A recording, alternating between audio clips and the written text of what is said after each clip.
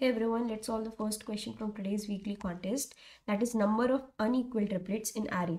You're given a zero indexed array of positive integers nums and you have to find the number of triplets ijk uh, that meet the following conditions. That is i should be less than j should be less than k right? And nums i nums j and nums k are pairwise distinct right? That means nums i should not be equal to nums j nums i should not be equal to nums k and nums j should not be equal to nums k and we have to return the number of triplets that meet the conditions right?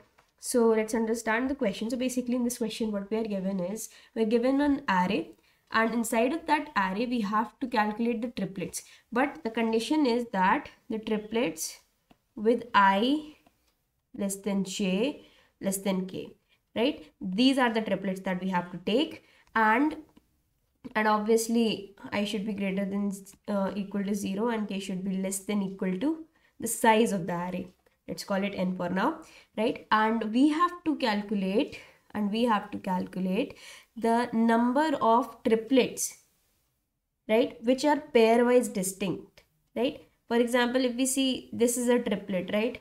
4 comma 4 comma 2 right? This is a triplet that also satisfies this condition but they are not pairwise distinct right? 4 and 2 are different but 4 and 4 these two are not different right? So that means each of the elements they none of the elements should be equal to each other right? So that is what we have to calculate. So in this array in this array let's see.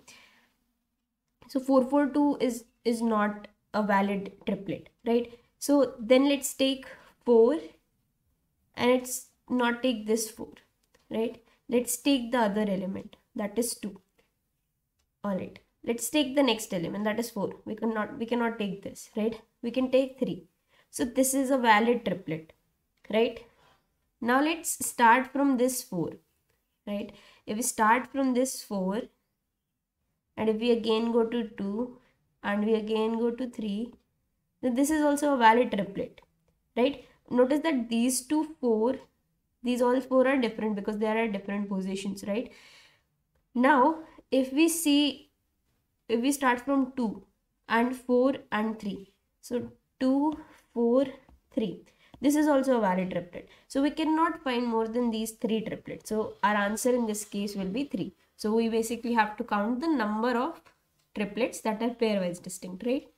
So how will we do that? So basically uh, it can be easily done using brute force approach right? So what we have to do is we will start our outer loop from i. Then inside that loop we'll iterate for j right? And then inside of this loop we'll iterate for k right? And inside of this loop j should be equal to i plus 1 and inside of this loop k should be equal to j plus 1 right? That's how we have to calculate. So let's see the code of it so here's the code. So basically we have taken in C is equal to 0, right? The number of uh, triplets.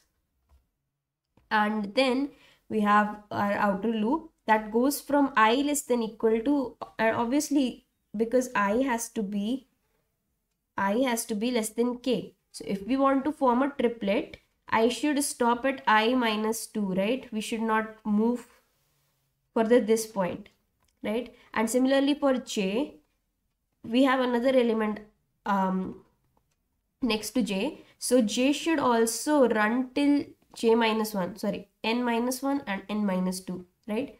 And k should run till n right? Because k can be the last element. J cannot be the last element and also i cannot be the last element or second last element right? So that is why these conditions are here right? And then we have because j should be less uh, j should be greater than i and k should be greater than j. So we have taken j is equal to i plus 1 and k is equal to j plus 1 and inside this we are checking if these are pairwise distinct then we are increasing our count and that is what we have returned